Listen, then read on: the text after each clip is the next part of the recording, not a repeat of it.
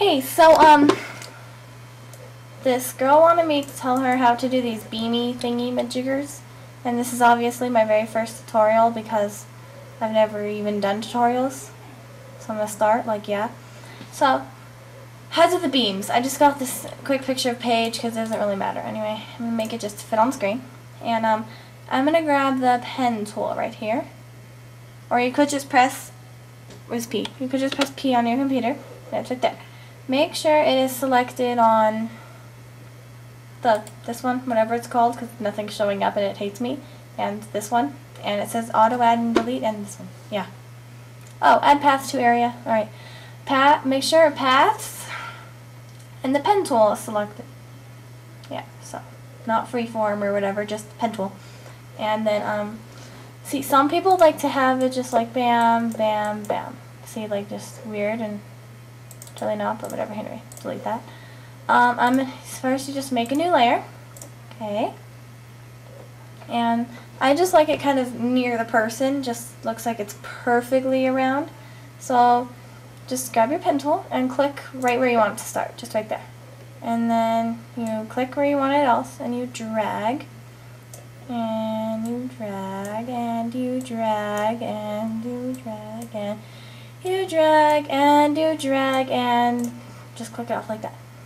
Right, so some people, they kind of like like the beams to start over here, they go over here, and over here, and over here, and over here, whatever. But I kind of like it no, close to the person, because then it just looks better. Anyway, so now you're going to click on the little FV pinky thingy on the palette right here, you know, that right there. You go over it, it turns pink.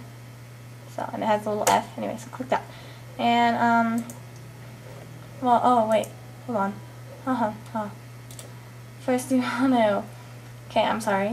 Forget not everything I just said. Make sure your foreground color is white. It looks better white, I promise you. And your brush should be just something small, like, you know, just like something small like that. So I'm putting mine to 13, right? And now click back on your pen tool and just press P again. And you go here and you press stroke path Make sure it's brush. And you can press stimulate pressure, but I'm going to show you the difference. When you click stimulate pressure, bam, you click OK. And see, when you press it, like, um, I'll put actual pixels. See, it's like, let's delete the path.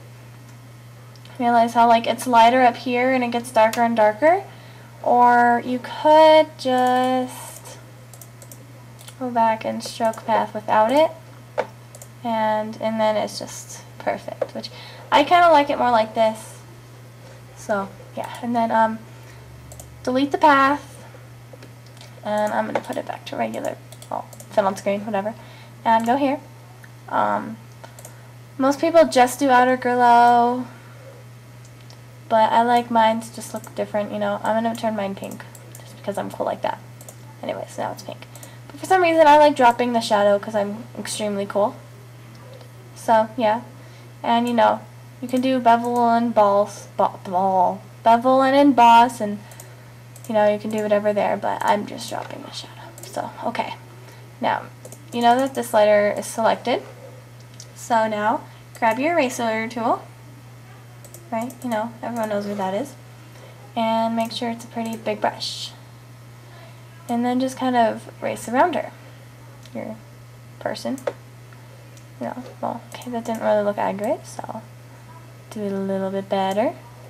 And you can leave that and make it a little smaller and la la la la. Mine doesn't look good at all, but when you do it, yours is going to look a little better because you're going to be trying.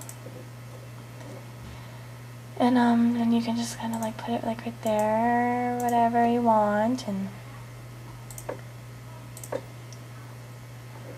you know, and put it right there. Of course, I'm just clicking because I don't, not really trying hard. And there you go, you have the beams. Woo! Yep, yup. You know, or you could totally just like delete that, whatever, and um, you could just, here, delete, no, wait, no, uh -huh. delete that. Okay, nothing's deleting. Delete. Yes. Oh, there we go. So then you can just keep all that and then go right there, but, you know, and keep that or whatever, you know. Some people just like to, like, make it look like it's going around there and it's over that, so that's what I did at first of all. So, yeah.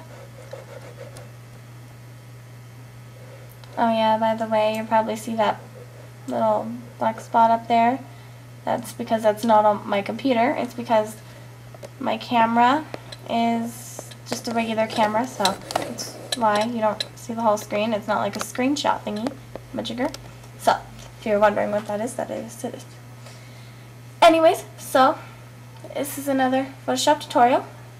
Um, have a nice day.